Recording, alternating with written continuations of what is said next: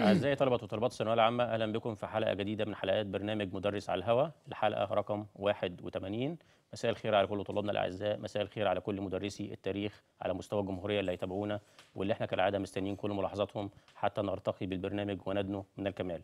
الحلقة بتاعتنا النهاردة هتبقى تحت عنوان مراجعة على نصف المنهج بالنسبة للتاريخ للثانوية العامة. وهيكون في ضيافتنا في الحلقة بالترتيب مستر محمد عبده. مساء الخير يا مستر. أخبار حضرتك إيه؟ الحمد لله بخير. ويكون معنا أيضا في الحلقة مستر سمير شلبي. أهلا أخبار حضرتك إيه؟ الحمد لله تمام. يخليك الحمد لله. ومعنا أيضا في الحلقة مستر محمد عز الرجال. أهلا وسهلا حضرتك. أخبار سعادتك إيه؟ تمام؟ تمام الحمد لله. الحمد لله رب العالمين. ومعنا أيضا في الحلقة مستر محمد عبد المؤمن. أهلا وسهلا. مساء الخير يا أهلا فندم وسهلا. أخبار حضرتك إيه؟ تمام الحمد لله. وأخيرا وليس أخيرا معنا في الحلقة مستر عبد الرحمن الشريف. أخبار حضرتك إيه؟ منورين الدنيا كلها ونتمنى لكم إن شاء الله حلقة موقف موفقة. قبل ما نبدأ الحلقة بتاعنا طبعا أساتذتنا الأفاضل مجمعين كم كبير جدا من الأسئلة بيغطي نص المنهج بالنسبة للتاريخ للثانوية العامة. فكل الأسئلة دي قائمة على إعمال الفكر والتحليل وربط أجزاء المنهج ببعضه. فيا ريت الطلبة بتاعتنا تركز مع أساتذتنا الأفاضل. وقبل برضو ما نبدأ الحلقة نحب ننوه إن أساتذتنا الأفاضل في الاستوديو بالإضافة إلى باقي فريق العمل بالنسبة للتاريخ للثانوية العامة. دلوقتي بنجهز في كتاب المراجعة النهائية للثانويه عامة كتاب مدرس على الهواء وإن شاء الله قريبا في أقرب وقت هيبقى إيه؟ متاح لكل الطلبة في كل المحافظات. وطبعا بنحب ننوه لحاجه سريعة طبعا كان المفروض يبقى معانا النهارده في الحلقة مستر علي عبد الفتاح. طبعا هو من كفر آه، الشيخ وطبعا أنتوا عارفين الامطار هناك بقى في في بعض المحافظات الساحلية فطبعا دي حالة دون إن هو يقدر يبقى موجود معانا في الحلقة. آه، وطبعا برضو كان المفروض يبقى موجود معانا مستر عوض عبد الحميد بنتمنى له الشفاء ال- العاجل وإن شاء الله يبقى موجود معانا في الحلقة القادمة. قبل ما نبدأ الحلقة بتاعتنا آه، طبعا زي ما نوهنا قلنا بالنسبة لكتاب المراجعة هيبقى متاح إن شاء الله في أقرب وقت ممكن بالنسبة للطلبة بتاعتنا في كل آه، المحافظات. ونبدأ آه، الحلقة بتاعتنا مع مستر محمد عبده ويا ريت المخرج جميل يجيب لنا الصفحة رقم واحد. اتفضل يا مستر. أهلا بحضرتك يا فندم. وفي البداية بوجه التحية لكل طلبة الثانوية العامة وأتمنى للجميع التوفيق. آه، اولا السؤال الأول بيقول أثناء بقاء الحملة الفرنسية في مصر كانت منطقة نفوذ وقوة المماليك هي المنطقة الشمالية أم الشرقية أم الجنوبية أم الغربية؟ هنا عشان نجاوب على السؤال ده لازم نتتبع أحداث الحملة الفرنسية في مصر. من خلال أحداث الحملة الفرنسية بنعرف إن المماليك تم هزيمتهم في معركة إمبابة وتقهقر مراد بيك إلى الصعيد. وكان الصعيد يمثل آه، ملاذا آمنا للمماليك بدليل أن آه، نابليون عرض على مراد بيك حكم الصعيد تحت الإشراف الفرنسي ورفض آه، مراد بيك. وبعد كده آه، كليبر عرض على نابليون عرض على مراد بيك نفس العرض ده ووافق مراد بيك. فعشان كده بنقول إن الصعيد كان حصن الأمان أو ملاذا امنا للمماليك. فالصعيد ده موجود فين؟ في مصر طبعا في المنطقة الجنوبية. فهنا الإجابة الصحيحة هتكون المنطقة الجنوبية. السؤال الثاني بيقول آه، أول مقاومة للحملة الفرنسية على مصر تمثلت في الإنجليز أم العثمانيين أم المماليك أم المصريين؟ هنا لازم نعرف أن الحملة الفرنسية نزلت آه، من الناحية الشمالية الغربية وبالتحديد على مدينة الإسكندرية. وكانت أول مقاومة للحملة الفرنسية تمثلت في أهالي الإسكندرية بزعامة السيد محمد قريم. وهنا أهالي الإسكندرية طبعا عارفينهم آه، ضمن المصريين. فهنقول كده تمثلت المقاومة أو أول مقاومة للحملة الفرنسية في المصريين. السؤال الثالث بيقول برزت صور القومية العربية أثناء الحملة الفرنسية في مقاومة أهل الصعيد أم ثورة القاهرة الأولى أم الحملة الفرنسية على الشام أم مقاومة أهل الإسكندرية؟ القومية العربية يعني التضامن العربي. التضامن العربي ده آه، حدث في مصر أثناء الحملة الفرنسية في مرحلتين أو في نقطتين مهمين جدا في المنهج بتاعنا. أول آه، نقطة وأول مرحلة للتضامن العربي آه، أثناء وجود الحملة الفرنسية في مصر آه، هو وصول قوات من الجزيرة العربية آه، وانضمت إلى مقاومة أهل الصعيد. النقطة الثانية وتمثلت في مقتل كليبر على يد سليمان الحلبي اللي هو طالب سوري. فهنا في الاختيارات بتاعتنا هنلاقي كده مقاومة أهل الصعيد وهي دي الإجابة الصحيحة لأن ده يمثل التضامن العربي عندما انضمت مساعدات أو جاءت مساعدات من الجزيرة العربية لأهالي الصعيد. أحسنت يا مستر. ننتقل للصفحة رقم اثنين مع مستر سمير شلبي. اتفضل يا مستر. أهلا بطلاب الثانوية العامة وإن شاء الله تكون حلقة موفقة يا رب.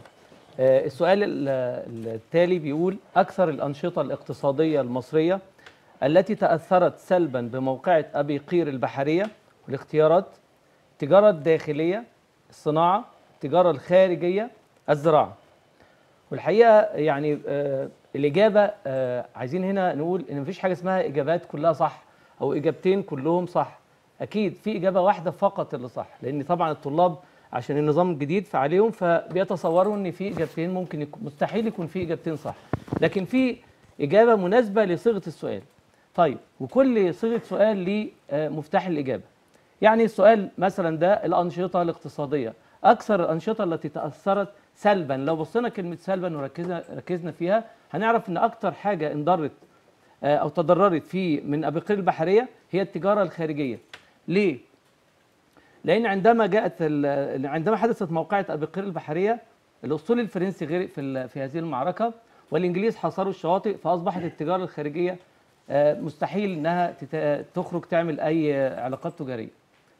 السؤال التالي آه، من صور الوحدة الوطنية العربية ضد الحملة الفرنسية ونوهنا من شوية أستاذ محمد نوه ال- آه، المقاومة العربية كانت تتمثل في موقفين. موقف الأولاني اللي هو موقف آه، آه، العرب إلى لأهالي الصعيد والموقف الثاني مقتل كليبر.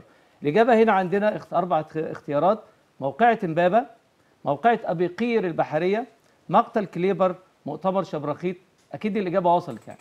طبعا الإجابة تبقى مقتل كليبر. السؤال التالي العامل الأكثر إسهاما في تدهور الاقتصاد المصري في العهد العثماني نظام الالتزام الضرائب المرسلة للسلطان العثماني حق الانتفاع اختلاف الموازين والمكاييل. الحقيقة أكثر أكثر حاجة ساهمت في آه، تدهور الاقتصاد المصري وهنا أقول مفتاح الإجابة ندور عليه كده هنلاقيه متركز في كلمة في كلمة إيه؟ الاقتصاد المصري. هو ما بيتكلمش عن الزراعة لوحدها أو الصناعة لوحدها أو التجارة لوحدها بيتكلم عن الاقتصاد. يبقى إحنا عندنا نظام الالتزام ده خاص بالزراعة نظام الانتفاع خاص بالزراعة اختلاف الموازين والمكاييل خاص بالتجارة الداخلية. يبقى الإجابة المناسبة للسؤال الضرائب المرسلة إلى السلطان العثماني. أحسنت مستر سمير. ننتقل للصفحة رقم أربعة مع مستر محمد عز. اتفضل يا مستر. بسم الله الرحمن الرحيم. أه برحب بكل أبنائنا الطلاب وأتمنى لهم عاما سعيدا موفقا جميعا بإذن الله تعالى. السؤال السابع بيقول يتمثل المغزى الرئيسي لدراسة أحوال المجتمع المصري قبيل مجيء الحملة الفرنسية فيه بيان قيمة الدين في حياة المصريين ولا التأكيد على روح المقاومة ولا معايشة الأحداث وتطورها؟ أم تأكيد قيمة القوة العسكرية؟ طبعا آه، الهدف من دراسة أحوال المجتمع المصري كان فهم تطور الأحداث معرفة أسباب مقاومة الشعب المصري للحملة حتى خروجها ومعرفة الفرق بين أحوال المجتمع المصري الشرقي المتكلف والمجتمع الفرنسي المتقدم من جميع النواحي. وعلى هذا فالإجابة الصحيحة هي الإجابة رقم ثلاثة معايشة الأحداث وتطورها. السؤال رقم ثمانية أفضل الفئات حالا من حيث الوضع الاجتماعي لطبقة المحكومين في مصر في العهد العثماني الاختيارات العلماء الفلاحون العامة الحرفيون. طبعا فئة المح... ال- النظام الحكم أو المجتمع المصري كان ينقسم إلى فئتين فئة الحكام اللي هم العثمانيون والمماليك وفئة المحكومين انقسمت إلى طبقتين. طبقة وسطى محدودة اللي هم العلماء والمشايخ والتجار وطبقة دنيا اللي هم الفلاحون والحرفيون وعامة الشعب المصري. إذا فئة المحكومين أحسن الفئات والطبقات حالا في فئة المحكومين كانت العلماء. السؤال رقم تسعة يستنتج من تقسيم السلطان العثماني الحكم إلى ثلاث إدارات متنافسة؟ الاختيارات اللي معانا واحد قوة المماليك العسكرية اثنين رفض الشعب المصري للحكم العثماني ثلاثة خوف الدولة العثمانية من فقد السيطرة على مصر أربعة أهمية مصر لاقتصاد الدولة العثمانية. طبعا نستبعد الإجابة رقم اثنين لأن الشعب المصري كان جزء من العالم الإسلامي. والإجابة رقم واحد قوة المماليك. عامة السلطان العثماني قسم السلطة في مصر بين ثلاث هيئات متنافسة حتى لا تنفرد أحدها بالحكم ويفقد السيطرة. وهذه الهيئات هي الوالي والديوان والمماليك ومن خلال هذا التقسيم نفهم أن هذا التقسيم هدفه ألا تنفرد أحدها بحكم مصر إذا هنا الإجابة هي خوف الدولة العثمانية من فقد السيطرة على مصر. أحسنت يا مستر. ننتقل للصفحة رقم خمسة مع مستر محمد عبد المؤمن. اتفضل يا مستر. أبنائي الطلبة كل سنة وأنتم طيبين. ونركز في حلقة النهاردة. يا رب تكون حلقة موفقة إن شاء الله. آه السؤال العاشر بيقول كان الوالي العثماني أحد إدارات الدولة العثمانية في مصر وكان يمثل سلطة؟ هل هي سلطة تشريعية ولا تنفيذية ولا رقابية ولا قضائية؟ طبعا إحنا عارفين أبنائي الطلبة عارفين إن الوالي العثماني كانت وظيفته إيه في مصر في الوقت ده؟ كان هو نائب السلطان. معنى كده إن هو بيدير شؤون البلاد. طيب يعني معنى كده إن هو آه، متولي السلطة التنفيذية في مصر. يبقى هنختار رقم اتنين. آه، السؤال رقم 11 آه، تعرضت الحملة الفرنسية في مصر إلى ضربة قوية كانت بمثابة بداية النهاية لها. تمثلت في إيه؟ أول حاجة ثورة القاهرة الأولى ولا معركة أبقير البحرية ولا المقاومة في الصعيد ولا فشل حملة نابليون آه، على عكا. طيب هنشوف مع بعض الأحداث ديت الأربع أحداث اللي قدامنا دولت. هنلاقي إن في حدث فيهم حصل إيه؟ في بعديه. هنلاقي إن حرمان الحملة الفرنسية من إمدادات فرنسا لها وقطع الطريق بينها وبين فرنسا. وفي نفس الوقت طبعا آه، شعر الفرنسيون بأنهم محاصرين في مصر. أنه حدث في الأربعة دولت يا أولاد خدناها كتير قوي وحافظينها من زمان قوي. طبعا هي معركة أبقير البحرية اللي أفقدت كمان فرنسا سيطرتها على حوض البحر المتوسط. طيب يبقى الاختيار السليم هو رقم اثنين آه السؤال رقم 12 بيقول كانت العلاقة بين فرنسا والدولة العثمانية أكثر قوة وصلابة في عهد مين؟ هل هو لويس ال 14 ولا لويس ال 15 ولا نابليون ولا لويس ال 16 طيب إحنا إحنا هنحذف طبعا رقم ثلاثة لازم نحذفها. لأن نابليون كانت علاقته سيئة بالسلطان في الوقت ده. طيب هنيجي على لويس ال 14 لويس ال 14 آه، كان هدفه إنه يجي مصر عشان يقطع الطريق بين انجلترا بين فرنسا آه، بين هولندا ومستعمراتها في الشرق. ولويس ال 16 كان عايز يجي مصر علشان يسهل طريق فرنسا آه، لناحية الشرق. يعني معنى كده هو عايز ناحية تجارية. إنما لويس ال 15 نحط عينينا عليه قوي هنلاقي إن هو طلب من السلطان العثماني التنازل عن مصر سلما. يعني معنى كده معنى إن هو بيطلبها منه معنى كده إن كان في علاقة قوية جدا بين فرنسا في الوقت ده والدولة العثمانية. يبقى إحنا كده هنختار لويس ال 15 وشكرا. جميل جدا يا مستر محمد. ننتقل للصفحة رقم ستة مع مستر عبد الرحمن الشريف. اتفضل يا مستر. ازيكم يا شباب؟ عاملين إيه؟ يا رب تكون حلقة موفقة والتاريخ بالنسبة لكم يكون أفضل وكويس بإذن الله. عندنا السؤال رقم 13 بيقول كانت الصناعة المصرية مقارنة بالصناعة الأوروبية في القرن ال 18 المقارنة ما بين الصناعة المصرية والصناعة الأوروبية في الوقت ده الاختيارات اللي عندي هل هي متباينة ولا متقدمة ولا متشابهة ولا متقاربة؟ طبعا الإجابة هنا أنا هطلعها الأول من القرن ال 18 أنا عارف القرن ال 18 يبقى 1700 وشوية القرن أكبر من السنة بواحد بنزل واحد على طول عشان الموضوع يكون سهل وبسيط معايا. طيب الصناعة المصرية والصناعة الأوروبية. الصناعة الأوروبية أنا عارف إن فيها ثورة صناعية كبرى قامت فيها والمصانع بالنسبة لهم كثيرة جدا وبيبحثوا عن أماكن مواد خام أو أماكن تسويق منتجات. أما الصناعة المصرية طبعا في العهد العثماني متدهورة جدا وكانت لا ترتقي أصلا لاستخدام الآلة وكانت يدوية بدائية بسيطة. فالفرق ما بين الصناعتين دول فرق كبير جدا فأكيد الإجابة هتكون متباينة يعني مختلفة. هننتقل بعد كده للسؤال رقم 14 اللي بيقول كان هدف المحاولة الفرنسية الأولى للسيطرة على مصر في العصر الحديث هل هي سياسية ولا عسكرية ولا اجتماعية ولا اقتصادية؟ هنا بيقول لي كان المحاولة الفرنسية الأولى. طبعا المحاولة الفرنسية الأولى بتاعة الملك لويس ال 14 وحضرتك عارف لويس ال 14 في القرن ال 17 كان يهدف إلى ضرب التجارة الهولندية اللي في الهند. ضرب التجارة الهولندية في الهند. أنا ذكرت كلمة التجارة إذا هي على طول اقتصادية. تمام؟ ودي كانت طبعا للبحث على الأماكن المواد الخام اللي موجودة في الهند في الوقت ده. السؤال اللي بعده رقم 15 بيقول ارتبط قيام المصريين بثورة القاهرة الثانية بإيه؟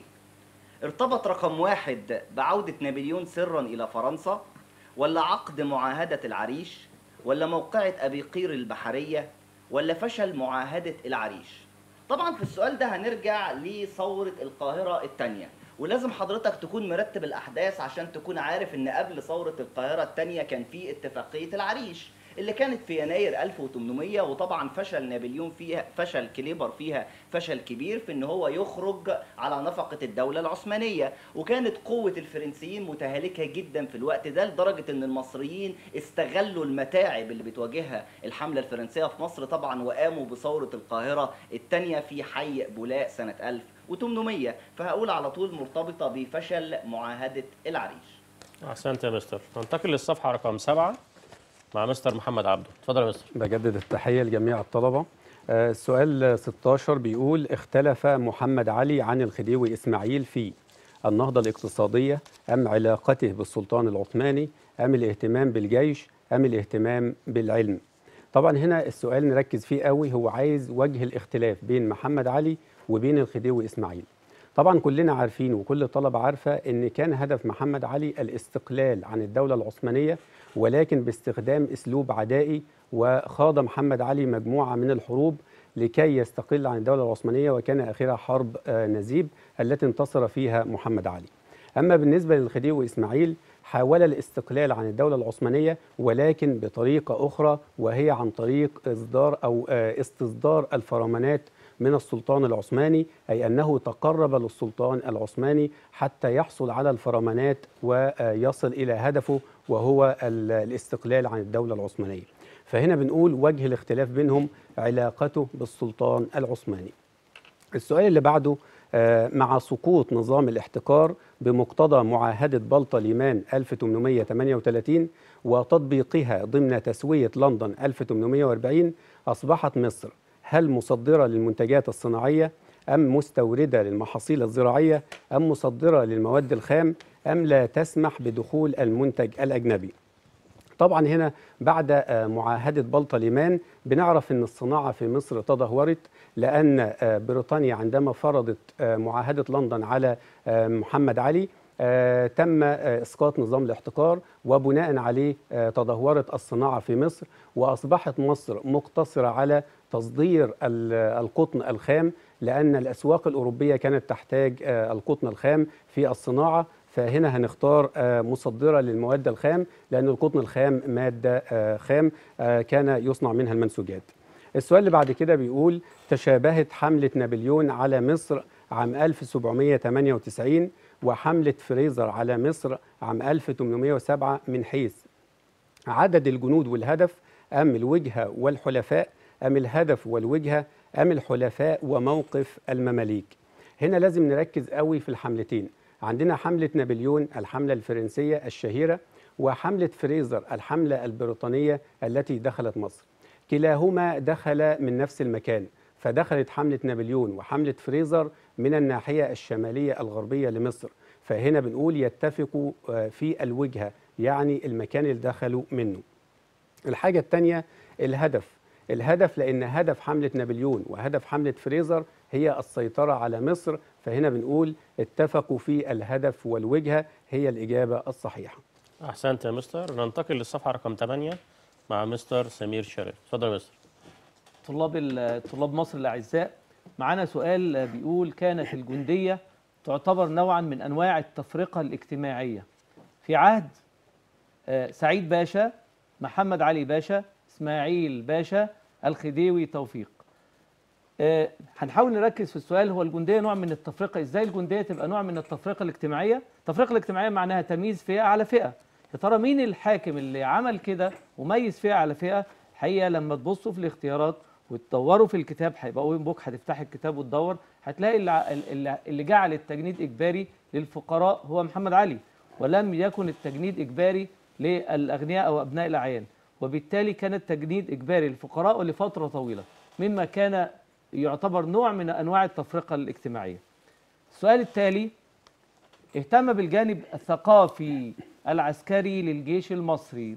الجيش المصري له تاريخ طويل منذ انشائه آه، لكن أول من اهتم بالجانب ال- العسكري في العصر الحديث بالجانب الثقافي العسكري عندنا أربع اختيارات محمد علي باشا الخديوي إسماعيل عباس باشا آه، الخديوي سعيد يا ترى مين فيهم اللي اهتم بالجانب الثقافي؟ الحقيقة كان الخديوي إسماعيل هو أول من أدخل الثقافة العسكرية في الجيش لأنه عمل جريدتين آه، عسكريتين. إذا الإجابة آه، الخديوي إسماعيل. السؤال التالي كان الاعتراض محمد علي على حفر قناة السويس أسباب آه، سياسية أم اقتصادية أم اجتماعية أم عسكرية؟ السؤال ده عشان نعرف نجاوب عليه هنشوف نفتح الكتاب open book زي ما إحنا عارفين وهندور على محمد علي ليه اعترض على حفر قناة السويس. الحقيقة حفر قناة السويس كان آه، آه، معروض على محمد علي عشان يمشي المصالح الأوروبية؟ لكنه قال لهم كلمة لا أريد بوسفورا آخر لمصر.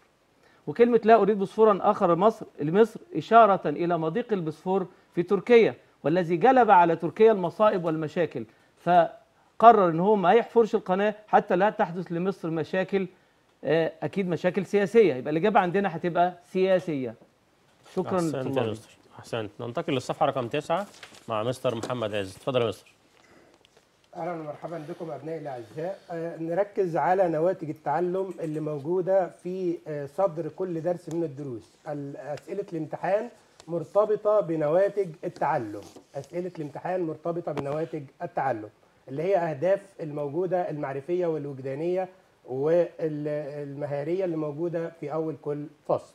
السؤال الأو السؤال رقم 22 بيقول حارب محمد علي المماليك عام 1804 بهدف التقرب من المصريين ولا تنفيذ أمر السلطان ولا للتخلص من منافستهم منافسة المماليك يعني ولا لفسادهم وسوء إدارتهم؟ طبعا هذا الداهية محمد علي استطاع قراءة المشهد المصري جيدا بعد رحيل الحملة الفرنسية وأدرك بذكائه ودهائه أن الشعب المصري قبل الحملة الفرنسية شيء والشعب المصري بعد الحملة الفرنسية شيء آخر. عندما قام الشعب المصري بالثورة فأدرك محمد علي خطورة الأمر فخاف أن تصيب الثورة جنوده وجاهر بالانضمام للعلماء والمشايخ واختلط بالأهالي الساخطين وتعهد ببذل كل ما يستطيع من أجل رفع الضرائب وأمر جنوده باحترام الشعب المصري. وبهذه السياسة اكتسب ثقة الشعب المصري آه، وعطف الشعب المصري وثقة زعمائه.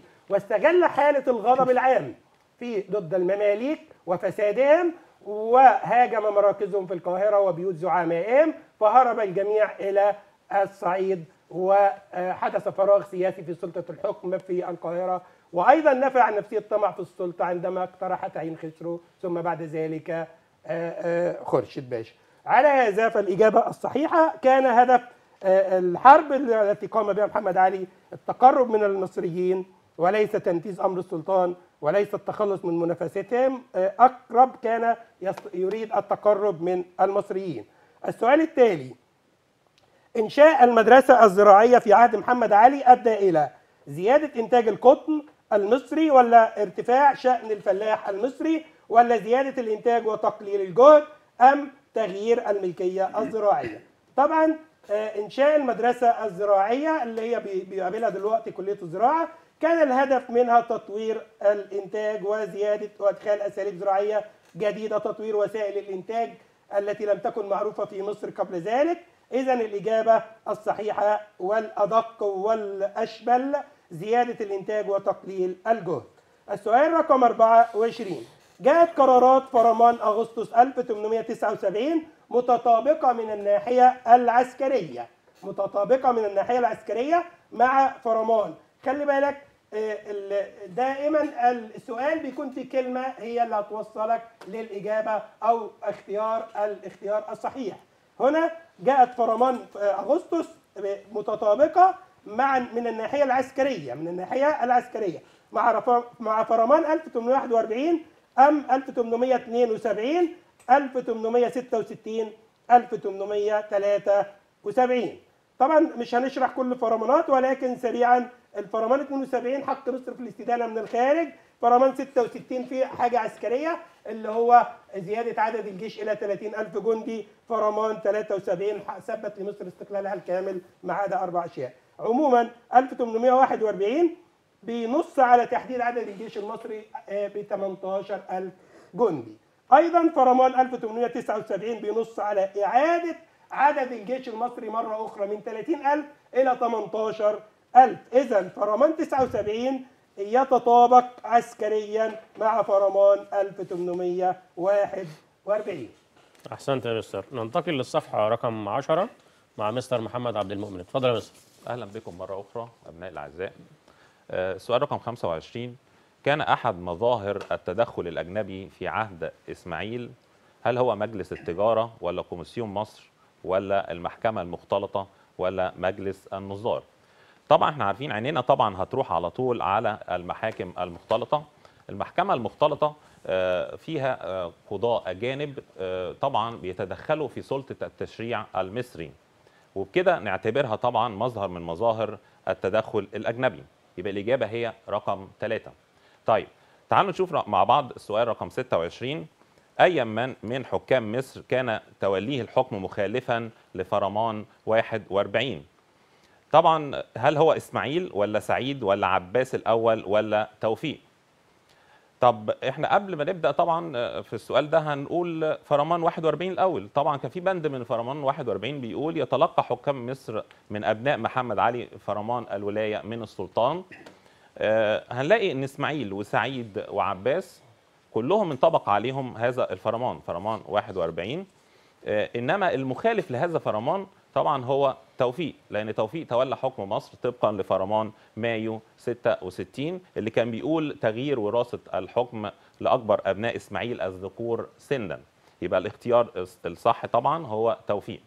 طيب السؤال رقم 27 آه، الفرمان الذي كان سببا في من أسباب تراكم الديون على مصر سنة 79 في عصر إسماعيل هو فرمان هل هو فرمان س- 66 ولا 67 ولا 72 ولا 41 طبعا إحنا عارفين الفرمان دي كلها وحافظينها.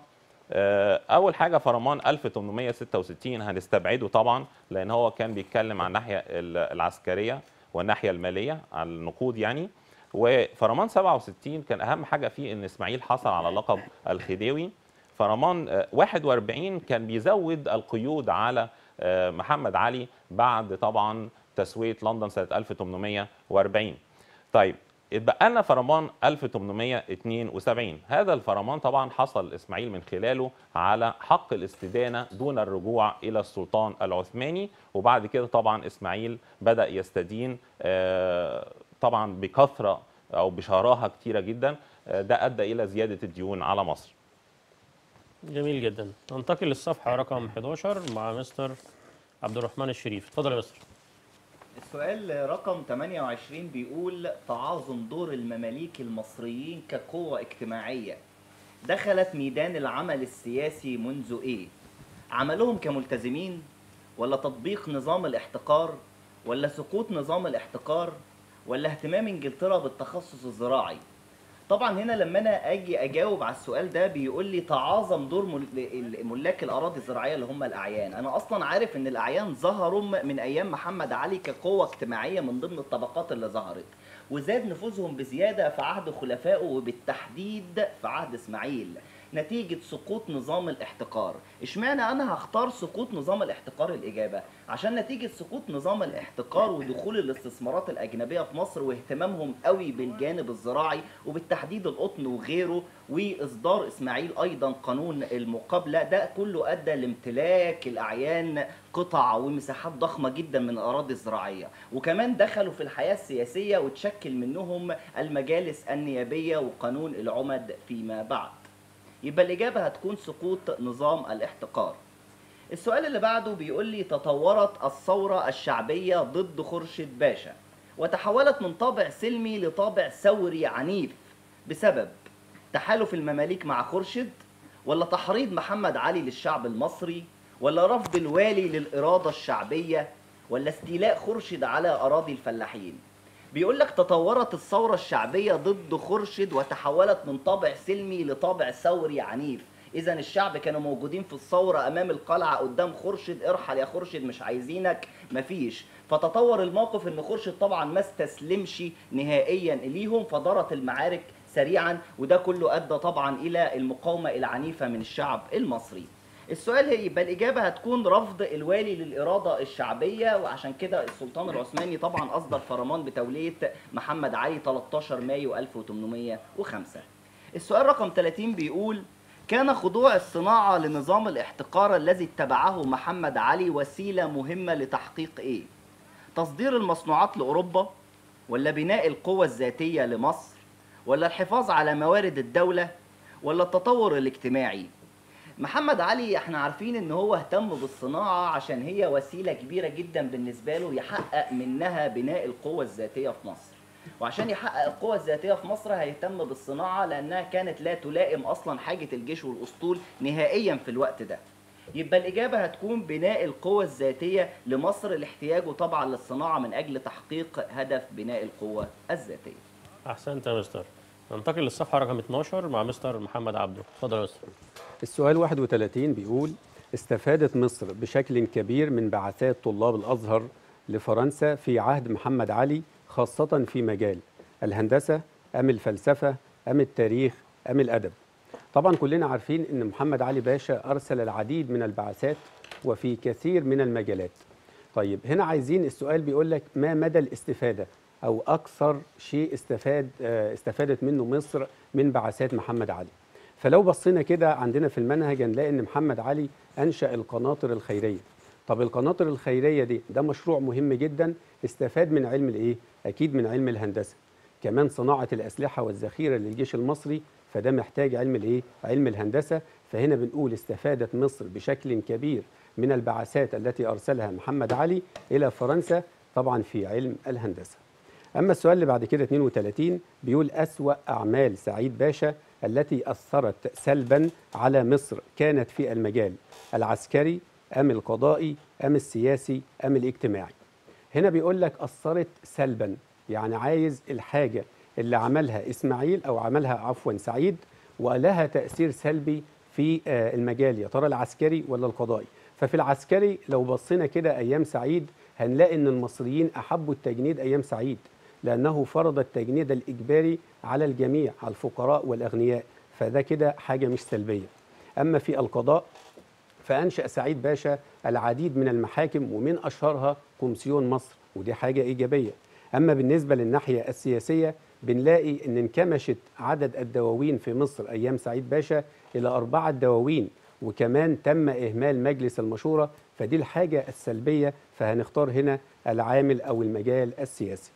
السؤال اللي بعد كده بيقول لك شجعت إنجلترا السلطان العثماني على إخضاع محمد علي عام 1839 وكان الهدف الأساسي للإنجليز هو خضوعها على على طريقها. آه، آه، عفوا خوفها على طريقها التجاري أم تحقيق مصلحتها الشخصية أم قلقها على السلطان العثماني أم رغبتها في احتلال مصر إنجلترا شجعت وبدأت في التحريض ضد محمد علي آه، حرضت السلطان العثماني لمحاربة محمد علي أكثر من مرة ليه؟ لأن محمد علي كان يتبع نظام الاحتكار ونظام الاحتكار كان يمثل آه، رواجا وكان يمثل آه، حجر عصرة أمام الرواج التجاري الأوروبي لأن محمد علي أغلق, أغلق أبواب الأسواق المصرية أمام المنتجات الأوروبية فهنا بنقول كل هدف إنجلترا من هذا التحريض هو تحقيق مصلحتها الشخصية هي الإجابة الصحيحة. أحسنت يا مستر. ننتقل للصفحة رقم 13 مع مستر سمير شلبي. اتفضل يا مستر. ال- أهلا طلاب مصر الجمال تاني. بنقول سؤال حققت الجمعية الخيرية الإسلامية التي ظهرت في عصر إسماعيل إنجازات اجتماعية وثقافية ولا اجتماعية وعسكرية؟ اقتصادية ودينية سياسية وعسكرية. الأربع اختيارات تحس إنك أنت اتلخبطت. إيه اجتماعية وثقافية واجتماعية وعسكرية؟ أختار إيه؟ أنت هتروح على الكتاب بسرعة وتفتحه هتلاقي آه، هتطلع إيه أهمية الجمعية الخيرية الإسلامية وإيه إنجازات الجمعية الخيرية الإسلامية. هتلاقي إنجازاتها حاجتين إعانة الفقراء وإنشاء مدارس خاصة لمواجهة طغيان المدارس الأجنبية. يبقى أنا همسك الحاجتين إعانة الفقراء تبقى إيه؟ اجتماعية اجتماعية طبعا إعانة الفقراء مساعدة الناس الفقيرة. كمان الحاجة الثانية إنشاء مدارس خاصة آه، لمواجهة طغيان الم- المدارس الأجنبية. اذا دي تعتبر ثقافية. الاختيار هيبقى اجتماعية وثقافية. السؤال التالي كان الهدف النهائي للخديوي إسماعيل من الحصول على فرمانات من السلطان العثماني؟ كان آه، الاختيار الأول تحقيق مجد شخصي له. الاستقلال التام عن الدولة العثمانية. تكوين إمبراطورية واسعة على غرار جده محمد علي. آه، توسيع نطاق استقلاله بالحكم. يا ترى الاختيار إيه بالظبط؟ طبعا آه، مفتاح الإجابة هنا لو بصيت على صيغة السؤال مفتاح الإجابة هنا هيبقى إيه؟ هيبقى كلمة النهائي. لأن لو بصيت على الإجابات هتلاقيها تقريبا كلها كانت أهداف لإسماعيل. لكن أنا باخد كلمة الهدف النهائي. يبقى مفيش هي إجابة واحدة اللي موجودة طالما الهدف النهائي. طبعا الإجابة هتتمثل في الاستقلال التام عن الدولة العثمانية ده كان الهدف النهائي للخديوي إسماعيل السؤال التالي أقبل الناس على الجندية بحب واعتبروا التجنيد فخرا لمن ينضم إليه في عهد مين؟ أكيد مش هنقول محمد علي لأن إحنا من شوية قلنا محمد علي جعل التجنيد إجباري للفقراء ولفترة طويلة. اللي صلح الموضوع ده وجعل الناس يقبلون على الجندية عندي أربع اختيارات عباس سعيد محمد علي إسماعيل. استبعدنا محمد علي نبتدي نشوف بقى مين اللي جعل الناس يحبون الجندية ويقبلوا عليها. وبقى في عدالة اجتماعية في التجنيد. آه، طبعا الإجابة سعيد لأنه جعل التجنيد إجباري للجميع ولفترة قصيرة. آه، شكرا. أحسنت يا مستر. ننتقل لمستر محمد عز والصفحة رقم 14 اتفضل يا مستر. السؤال 37 بيقول استمرت الحماية البريطانية على مصر لمدة 66 سنة 8 سنوات 40 سنة آه، 6 سنوات. طبعا الإجابة سهلة جدا. آه، تم فرض الحماية البريطانية على مصر بعد دخول- دخول تركيا الحرب في 1914 واستمرت حتى آه، إعلان تصريح 28 فبراير 1922 الفترة من 1914 ل 1922 إعلان مصر دولة مستقلة بعد إلغاء الحماية البريطانية. طبعا الإجابة الصحيحة 8 سنوات. كان العرابيون يتشككون في سياسة الخديوي توفيق تجاههم والدليل على ذلك. رفض تنفيذ الأوامر العسكرية عمل تخطيط سري تحريض الشعب ضد الخديوي ولا العمل على عزل الخديوي. طبعا آه، سادت حالة من الشك بعد مطالب مايو 1881 بين الخديوي وبين العرابيون. بدأ العرابيون يتشككون في نوايا الخديوي. ولذلك آه، رفضوا الذهاب رفضوا تنفيذ بعض الأوامر العسكرية. هي دي الإجابة السليمة لأن ما كانش في تخطيط سري ما كانش في تحريض الشعب ولا كان في العمل على عزل الخديوي. رفض تنفيذ الأوامر العسكرية مثل رفض الذهاب للسودان لإخماد الثورة المهدية ورفض إشراك الجنود في حفر الرياح التوفيقي اعتقادا منهم أن الهدف هو جمع السلاح من أيديهم. السؤال رقم 39 طبعا هنا السؤال 38 الإجابة هي رفض تنفيذ الأوامر العسكرية. السؤال 39 كان الاتفاق الودي بين إنجلترا وفرنسا 1904 نتيجة ليه؟ اهتمامهما بالمصالح التجارية ميلهما إلى السلام ونبذ الحروب شعورهما بالخطر من قيام ثورات ضدهما ولا شعورهما بالخطر من تصاعد قوة أوروبية أخرى؟ طبعا الإجابة هي رقم أربعة. حيث كان الوفاق الودي مقدمة لسياسة الوفاق فيما بينهم بدل من المواجهة المسلحة وذلك لمواجهة قوة ألمانيا المتنامية في هذه الفترة. أحسنت يا مستر. ننتقل للصفحة رقم 15 مع مستر محمد عبد المؤمن. السؤال رقم 40 بيقول تعددت عوامل كساد صناعة الغزل والنسيج في عهد الاحتلال البريطاني وأكثرها تأثيرا كان هل هو إغلاق المصانع عمدا ولا تقييدها بالضرائب ولا المعاهدات التجارية ولا سقوط النظام الاحتكار إحنا لو ركزنا في صيغة السؤال هنلاقي إن في كلمة هتدينا مفتاح الإجابة اللي هو صناعة الغزل والنسيج. هو حددها لنا هي بس مش كل الصناعات. معنى كده إن في حاجة حصلت في صناعة الغزل والنسيج طبعا إحنا عارفين إن في الوقت ده اتفرض ضرائب اللي هي 8% على المنسوجات. يعني معنى كده على طول عينينا هتروح على الاختيار رقم 2 تقييدها بالضرائب. السؤال رقم 41 بيقول تدهورت الصناعات الصغيرة الغير حكومية بشكل كبير في عهد الاحتلال البريطاني لمصر وانتشرت حالات الإفلاس بين أصحابها ويرجع ذلك في المقام الأول إلى أول حاجة إهمال التعليم الصناعي ولا كثرة الضرائب المفروضة عليها ولا إلغاء نظام طوائف الحرف ولا بدائية الصناعة الحرفية. طبعا برضك عينينا هتروح على الإجابة على طول لأن نظام طوائف الحرف اللي هو رقم ثلاثة طبعا نظام طوائف الحرف آه، لم تعد بعد إلغائه سنة 1891 لم تعد هناك طائفة تحمي الحرف الصغيرة. عشان كده تعرضوا إلى الإفلاس. يبقى الإجابة الصحيحة هي رقم ثلاثة طيب السؤال رقم 42 أحجم الأجانب عن استثمار أموالهم في الصناعة في مصر ويرجع ذلك لأهداف هل هي أهداف عسكرية ولا أهداف وطنية ولا أهداف اجتماعية ولا سياسية؟ طبعا آه، من مصلحة الأجانب إن هم يصنعوا في بلدهم وبعد كده يصدروا المنتج لينا. إحنا مجرد بس بيحصلوا مننا على مواد خام. يبقى استحالة أي أي آه، مستثمر أجنبي هيشغل فلوسه في مصر طبعا في الوقت دوت في الصناعة علشان طبعا يصدر منتجاته لينا ويرفع من قيمة بلده. يبقى الإجابة هي رقم اتنين اللي هي وطنية. أحسنت يا مستر. ننتقل للصفحة رقم 16 مع مستر عبد الرحمن الشريف اتفضل يا مستر. رقم 43 بيقول أخطر مشروع إنجليزي أثر على أحوال مصر المالية والمصرفية كان إيه؟ طبعا الإجابة هنا بسيطة جدا وأنا مغمض حافظ إن البنك الأهلي كان أخطر المشروعات على الاقتصاد المصري اللي اتعمل سنة 1898 ولو قلت 98 يبقى أكيد في عهد عباس حلمي الثاني اللي مسك سنة 92 وهو خطر. ليه؟ لأنه احتكر إصدار الأوراق المالية وربط العملة المصرية بالعملة الإنجليزية. فأي اهتزاز في العملة المصرية الإنجليزية هيؤثر على العملة المصرية. فهنختار الإجابة هتكون البنك الأهلي. السؤال رقم 44 بيقول فرضت إنجلترا ضرائب على الآلات المستوردة اللازمة للصناعة مما نتج عنه إيه؟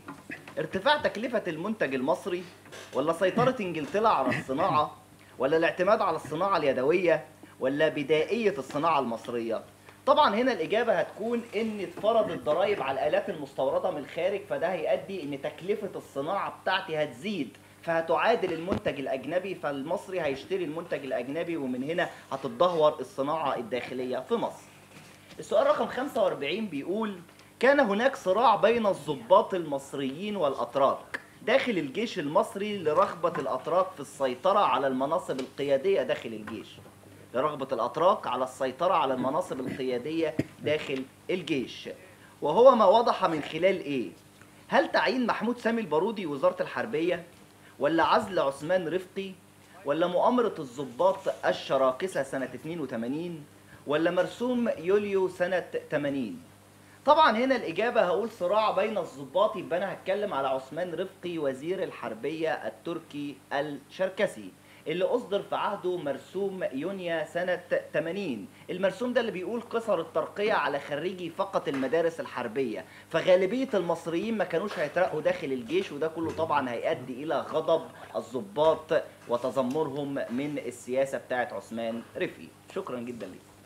أحسنت يا مستر. ننتقل للصفحة رقم 17 مع مستر محمد عبد اتفضل يا مستر السؤال آه، 46 آه، بيقول ترقية عرابي إلى وظيفة وكيل وزارة الحربية جاء بسبب إعجاب توفيق بشخصية عرابي أم رغبة الخديوي في استقطاب عرابي لجانبه أم أن يكون عرابي تحت رقابته بشكل مباشر أم ضغط ال- الجيش على السلطة لترقية عرابي.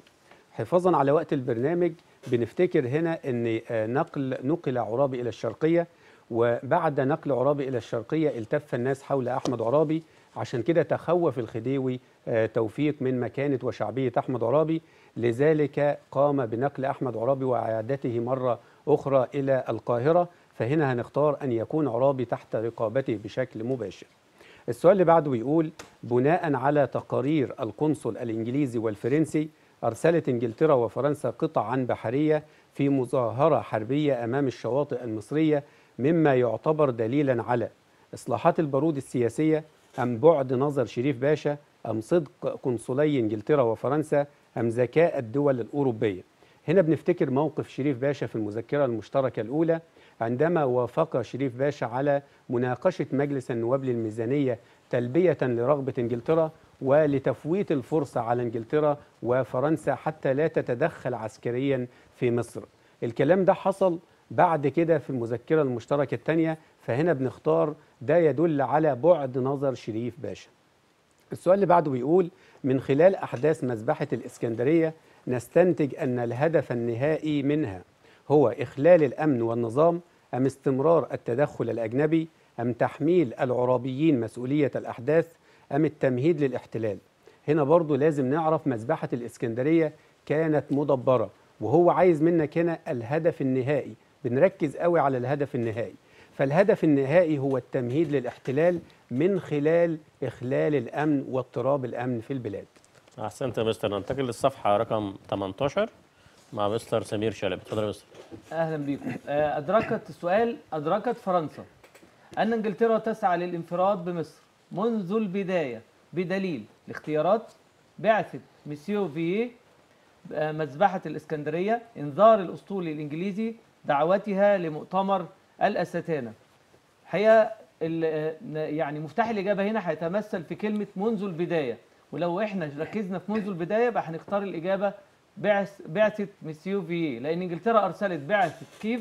فاضطرت فرنسا تبعت بعثه آه، فييه علشان ما تنفردش إنجلترا بالأمر. السؤال التالي كانت أهداف فرنسا من عقد مؤتمر الاستانه تدويل القضية المصرية احتلال فرنسا لمصر مشاركة إنجلترا في مصر مساعدة الدولة العثمانية. الحقيقة الأربع اختيارات مهمة قوي أركز فيها قوي أهداف فرنسا عند مؤتمر الاستان أنتوا عارفين بعد مذبحة الإسكندرية المدبرة التي دبرتها إنجلترا عقدوا مؤتمر اسمه مؤتمر الاستانه عشان فرنسا تمنع إنجلترا من احتلال مصر.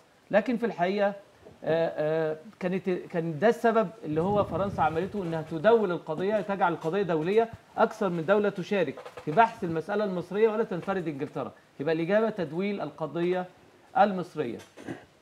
السؤال التالي انتهى مؤتمر الاستانه بتوقيع ميثاق النزاهة وبذلك يعتبر انتصارا للسلطان العثماني أم انتصارا مؤقتا لفرنسا أم انتصارا كاملا لفرنسا؟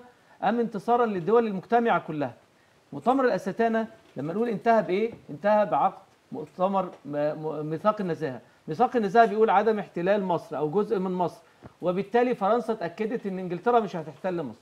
لكن ده كان مؤقت ليه؟ لأن إنجلترا أضافت عبارة إلا إذا حدث ما يؤدي إلى ذلك. وبهذه العبارة احتلت إنجلترا مصر فلم يكن انتصارا كاملا لفرنسا بل انتصارا كاملا لإنجلترا. شكرا لكم. أحسنت يا مستر ننتقل للصفحة رقم 19 مع مستر محمد عز. اتفضل يا مستر. سؤال 52 آه، يصنف السبب المباشر لاندلاع الثورة العرابية ضمن الأسباب السياسية الإدارية الاجتماعية الاقتصادية. آه، عشان وقت البرنامج مش هنشرح كل واحدة من دول هنقول على طول السبب المباشر. يبقى الإجابة بترتبط بالسبب المباشر وكلنا عارفين إن السبب المباشر لاندلاع الثورة العرابية كان نقل عبد العال حلمي من ألاي ترى إلى مقر وزارة الحربية وتعيين أحد الضباط الشراكسة مكانه وهذا يعد تنزيلا من رتبته العسكرية. فاجتمع الضباط في بيت أحمد عرابي وقدموا شكوى وتم القبض عليهم وحدث ما حدث بعد ذلك. إذا السبب المباشر هو آه، نقل عبد العال حلمي وده يصنف ضمن الأسباب الإدارية السؤال 53 لجأ عرابي إلى الأعيان والعلماء للنظر في ولاية الخديوي للبلاد ويرجع ويرجع لجوء عرابي لهم دون السياسيين والمثقفين نتيجة. ضعف شعبية المثقفين والسياسيين ولا ميول المثقفين للأجانب ولا عداء رجال السياسة للعسكريين أم لأن هؤلاء آه، اللي هم أعضاء المجالس النيابية مثلوا القيادة النيابية والشعبية. طبعا الإجابة ضعف شعبية المثقفين مش آه، هي الإجابة ميول المثقفين للأجانب برضو ما تنفعش عداء رجال السياسة العسكريين. آخر حاجة الإجابة اللي هي مثلوا القيادة النيابية والشعبية. ليه؟ لأنهم كانوا يمثلون سلطة شرعية حيث أنهم كانوا أعضاء المجالس النيابية وبعض زعماء الشعبيون. السؤال الأخير نظرا للوقت. آه، كان الهدف الرئيسي لحركة ضباط الجيش في يناير وفبراير تقليل النفوذ التركي داخل الجيش؟ ولا إصلاح المؤسسة العسكرية؟ ولا تحقيق إصلاحات سياسية واجتماعية؟ ولا إحداث توازن بين العنصر التركي والمصري؟ الاختيار الأول والثاني والرابع كل هذه الاختيارات تدخل ضمن الاختيار رقم ثلاثة اللي هو إصلاح المؤسسة العسكرية حيث كان الهدف من حركة آه، يناير وفبراير هو عزل عثمان رفكي وزير الحربية وتعيين محمود سامي البارودي والإجابة الصحيحة إصلاح المؤسسة العسكرية. أحسنت شكراً. يا مستر. ننتقل للصفحة. رقم آه، 20 مع مستر محمد عبد المؤمن. اتفضل يا مستر. آه، السؤال رقم 55 بيقول مشاركة المسلمين والمسيحيين في ثورة 1919 تدل على أنها ثورة شعبية شاملة ولا قومية ولا دينية ولا عنصرية. طبعا إحنا عارفين أن هذه الثورة ثورة قومية دون تفرقة بين مسلم ومسيحي حيث اتخذت شعار هلال وسطه صليب. يبقى الاختيار رقم اثنين السؤال 56 كان الغرض من مبادئ الرئيس الأمريكي ويلسون أثناء الحرب العالمية الأولى آه، تحرير الشعوب العربية من الاستعمار ولا تحرير مصر من الاحتلال البريطاني ولا تحقيق مصلحة الولايات المتحدة الأمريكية ولا ظهور الولايات المتحدة الأمريكية في ثوب البطولة؟ طبعا إحنا عارفين الرئيس الأمريكي آه، ويلسون قبل الحرب العالمية الأولى أعلن مبادئ ال 14 بتاعته علشان طبعا جذب عطف شعوب العالم آه، نحو آه، الولايات المتحدة آه، أثناء الحرب يبقى اذا أكيد الكلام دوت طبعا لمصلحة مين؟ لمصلحة الولايات المتحدة الأمريكية يبقى الإجابة رقم ثلاثة طيب آه، السؤال رقم 57 بيقول خروج المرأة في ثورة 19 لأول مرة يشير إلى إيه؟ هل هو حدوث تغيرات اجتماعية ضخمة ولا حدوث تغيرات سياسية كبيرة ولا رغبة المرأة المصرية في استفزاز قوات الاحتلال البريطاني ولا سوء معاملة الإنجليز للمرأة المصرية. طبعا إحنا عارفين أبنائي الأعزاء عارفين أن المرأة المصرية آه، أول مرة تخرج إلى آه، الشوارع في الوقت دوت كان آه، وصل عددها إلى 300 امرأة وكانت بتساعد الرجال في إقامة المتاريس فمعنى كده أن ده حدث اجتماعي ضخم جدا يبقى هي الإجابة رقم واحد. أحسنت يا مستر ننتقل لصفحة رقم 21 والأخيرة؟ رقم 58 بيقول ثورات قامت في بعض الدول العربية على غرار ثورة 23 يوليو. يعني بعد ثورة 23 يوليو مصر وقفت بجنب ثورات زي إيه؟ السودان الإمارات اليمن ليبيا. طبعا أنت عارف لو بتذاكر كويس إن الإجابة هتكون إن مصر وقفت بجانب ثورات في اليمن وفي العراق. فالإجابة هنا بسيطة هتكون اليمن. السؤال رقم 59 بيقول رفضت مصر الانضمام إلى الأحلاف العسكرية الأجنبية وبرضه ده بعد ثورة 52 على المجال الدولي تمام؟ بعد ال- الاختيارات بعد معاهدة 36 ولا قبل ثورة 52 ولا قبل ثورة 19 ولا بعد ثورة 52 طبعا هنا الإجابة سهلة هتكون بعد ثورة 52 رفضت مصر الانضمام للأحلاف العسكرية والوقوف على الحياد زي حلف بغداد 55 آخر سؤال عندنا النهارده بيقول أكثر الفئات الاجتماعية استفادت من ثورة 52 أكثر فئة اجتماعية استفادت من ثورة 52 هل هم الإقطاعيين ولا الفلاحين والعمال ولا الرأسماليين ولا الفلاحين والتجار؟ طبعا هنا أنا هنتقل إلى تحقيق الإنجازات في المجال الاجتماعي عن طريق المبدئين بتوع إنجازات الثورة. المبدأ الثالث والمبدأ الرابع. يبقى الإجابة هتكون الفلاحين والعمال. الفلاحين المبدأ الثالث للقضاء على الإقطاع والعمال آخر حاجة المبدأ الرابع وهي إقامة عدالة اجتماعية وتأمينات ومعاشات أحسنت يا مستر. أحسنت يا مستر. في ربع دقيقة. لو ليك رسالة على السريع اللي هي للطلبه بتاعتك it's okay اولا آه، يعني أنا حابب أجاوب على سؤال مهم جدا كل الطلبة بتتساءله وهو إزاي أذاكر في ظل النظام الجديد؟ كلنا عارفين إن النظام الجديد بيعتمد على الفهم والاستنتاج والتحليل فعشان نختصر كده في الكلام تذاكر إزاي لازم تذاكر الدرس كويس جدا وتحل أسئلة كتير قوي. فالنظام الجديد مش محتاج حفظ ولكن ذاكر كويس وحل أسئلة كتير على قد ما تقدر. مستر سمير في ربع دقيقة كده. طلابي الأعزاء حبايبي بصراحة العملية مش سهلة التاريخ ممتع جدا وتقدر تستمتع وأنت بتذاكر تقدر تستمتع. بس عايز أقول لكم حاجة محدش يتوهم محدش يفتكر إن الإجابات آه، آه، يعني مختلطة أو الإجابات متشابهة. لا في إجابة واحدة بس وبحبكم كلكم. شكرا. مستر محمد عز.